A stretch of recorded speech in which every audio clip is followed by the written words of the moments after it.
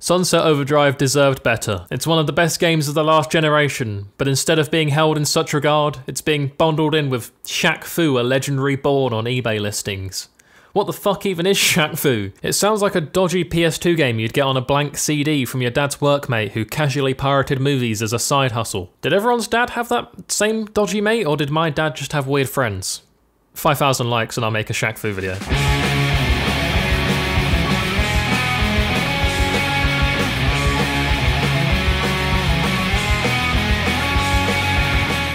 Welcome back to Sunset City. If you missed the first episode, allow me to catch you up.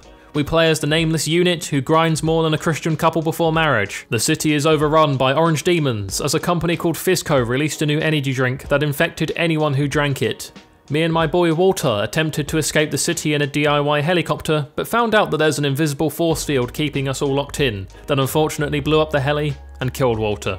Now, our only hope of escape is to find the Troopmaster Brylcreem at the Japanese Heritage Museum. And yes, Brylcreem is a real name, despite sounding like something you rub on your asshole after some friction burn. So, to the museum I went. And on my way there, I realised that my dude never does any stretches before this vigorous cardiovascular exercise.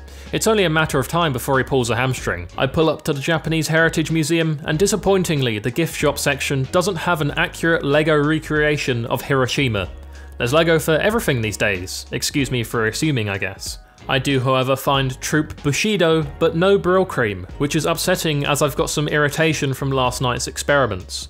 The Troop Master is a dude called Norton, and he's quite aggressive, but honestly, I can understand why. I mean, his parents named him after an antivirus software. I call him a dick, because he is. One of the troop agree with me, and she gets sanctioned for treason, the silly flannel. You can't just call your boss a dick and expect no repercussions. Anyway, Brylcreem is missing. It's of course my duty to find him, as this is a video game and everyone else is incapable of breaking their code. The radio signals are all blocked due to a FizzCo jammer, so I've got to go destroy it. When I reached the top of the tower, however, I met with a FizzCo blimp which doubles as a giant killing machine. Real inconvenient. I've heard massive corporations burying abuse allegations. Sorry, I need to sneeze. Ubisoft. But having a giant murderous blimp is another level. FizzCo are real shady folk. Oh Sunset, I do love you.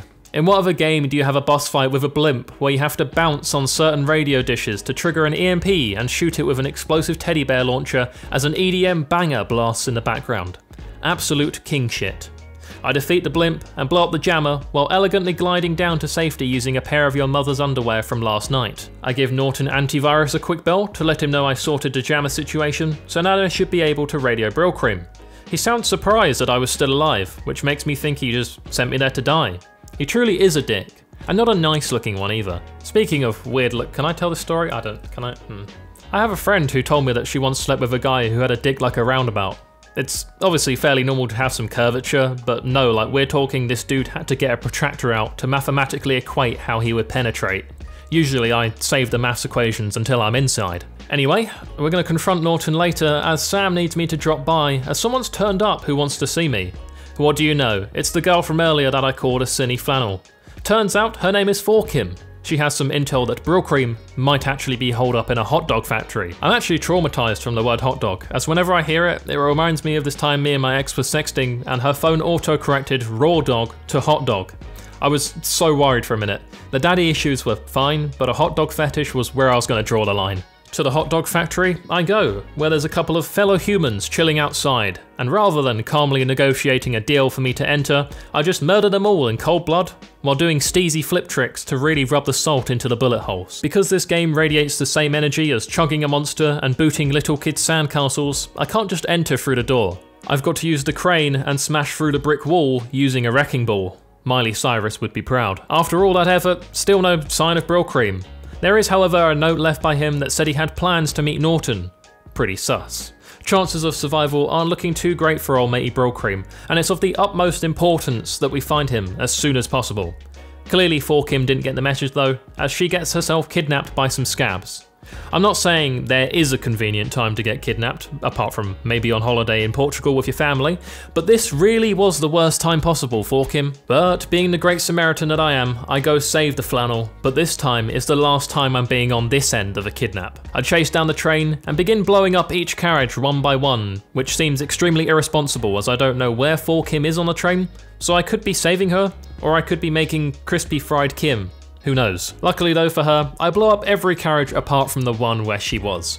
But it turns out she didn't even need my help. Having folded all the scabs like deck chairs, 4 Kim proves to be a strong independent woman who doesn't need a man's help. With that done, it was time to actually save Brylcreem, who could have mere minutes left to live due to starvation or dehydration. Never mind, my boy Floyd hits me up. He asked me to drop by and bring lots of toilet paper with me. And I don't like to get excited, but with that much toilet paper, we're either going to be circle jerking all night long or taking a shed load of laxatives, and I'm down for either. Well, I learnt my lesson on jumping to conclusions as it wasn't either of those, but I wasn't sad for too long. He needed the toilet paper to upgrade my amps, and I cruised around, killing OD while listening to a song by Fiddler, one of my favourite bands. Sunset just manages to capture that early 2000s punk aesthetic so perfectly, and maybe that's why I love this game so much. Tony Hawk's Underground 2 loved me more than my parents ever did, so cocaine fueled punk rock music will always comfort me. Okay, time to stop colluding with Floyd about how we can push these amps through Sunset City and actually save Brylcreem. Turns out, all I had to do to find old matey was point this signal receiver that looks like a Dyson Bladeless fan in different directions until I heard Brylcreem. I actually have one of these at home, but instead of using it to save lives, I use it to listen to my neighbour tell his kids he loves them. I locate Brylcreem, and he's only gone and got himself stuck inside a bin lorry. Don't know why I just called it a bin lorry, I haven't said that since I was about six. You may notice as I'm making my way towards the truck where Brylcreem is located, that I'm now rocking the cock goblin underwear and socks with sandals, as nothing says I'm hung like a horse, quite like this iconic combo. On arrival, I must take out a few more scabs, and I'm honestly beginning to get quite worried for my dude's mental health. Like if we escape the city and get back to normal life, is he just expected to put these hundreds of counts of first degree murder behind him? Get an office job, and settle back into society with no guidance counselling? Best not to worry about that now though, as Brylcreem has literally got moments left to live due to his truck being on fire. I make the 200 IQ play and put out the fire using Overcharge, which of course attracts plenty of OD. Rumour has it, OD can sense Overcharge better than a vegan can sense a protest. Finally, we had saved Brylcreem, and we could return him to the troop no damage done. Well, if by no damage I'm not including his missing limbs, which he ate to stay alive. What a beast. Man literally must have watched every episode of Bear Grylls' Man vs. Wild. I was expecting to guide back a fully limbed Brylcreem to the troop, but now I'm gonna have to strap him onto my back like a backpack, as something tells me he isn't going to be walking anytime soon. Rather humiliatingly for Brylcreem, I helplessly carry him home like a jock carrying home the drunk girl he invited over except I have Brylcreem's consent. Back at the troop, I slam down the Nugget, who confronts a Vex Norton. Norton's plans had all flown out the window, so it was time for his last resort, drinking overcharge and turning into a flying dragon eel boss. He also picks up Brylcreem on his way out, as Brylcreem literally cannot do anything. That poor guy, man. He's down so bad right now, he might grow an extra chromosome. Once again, another stellar fight by Insomniac grinding, bouncing, and boosting your way to catch Norton and eventually landing a killing blow to his head. With order restored, I finally pop the question to Brylcreem about escaping. He hits me with the video game answer of, Go speak to this other guy who may build you a boat. All that effort to save this ungrateful nugget, and he just points me in another direction. He'd still be stuck in a truck and about to eat his own testicles right now if it wasn't for me. 4 Kim gives me a warning that this new faction I've been pointed to are Lars, aka live action role players. Honestly, I don't mind that. Whatever makes you happy, you do you. But I'm just worried about the smell when I get there. It's gonna smell like Comic Con, but no one's showered for two months. So it's gonna smell like Comic Con. I arrive looking to see Ignatius, who is the main man that can build me a boat, but get attacked by a max level knight, archer, and mage. They were seriously about to kill me until I called timeout, because everyone complies by these basic human rules like timeout and no backsies. Ignatius is sick and needs some modern medicine to help him, but these people are stuck in their roleplay and are trying to heal him using bark. That's like trying to fap using a Playboy when the internet exists. Wendy is the only one here who wasn't molested as a child, so isn't stuck in the eternal roleplay. She acknowledges that Iggy needs modern medicine to actually help, but he won't accept it. So we have to think of a pretty creative solution. By that I mean intentionally attach countless leeches to my body, then down an entire bottle of liquid paracetamol and get absolutely off my tits. One incredible trip later, and I come down hit for six, keeled over in the corner convinced I was dying, just to make sure Iggy didn't have a cold anymore. I'm not even sure that's how leeches work, but at least he can get back on his feet, and now we can crack on with this boat. Well, at least that's what I thought, until he calls me a normie and tells me to come back tomorrow. Unnecessarily hurtful, especially after I just had to get three leeches off my gooch, but he knows how to build a boat, and I don't. So I guess he holds all the cards in this situation. Hey, if you want to see more Sun- Hey, what, what was that? Hey, what? Hey! Thank you guys for all your support on the Sunset Overdrive series. I was unsure about posting that first video because I didn't think it would do that well.